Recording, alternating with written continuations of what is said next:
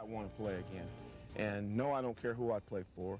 But, you know, and, and, if everything continues to progress like it is, you know, if we go through all the rehab and the, the hitting process at the beginning of next year and everything feels fine and somebody give me an opportunity to play, I'll take it. I wish I, we could have gotten the playoffs a little earlier. I wish we could have gotten a little better in the playoffs and gotten a little farther. I wish I could have played in the Super Bowl. But those things, that, that's the thing you take when you, you know, price you pay when you, you, you go out for this team. You know, everybody's not going to have the same type of success. So I understand that. I welcome it.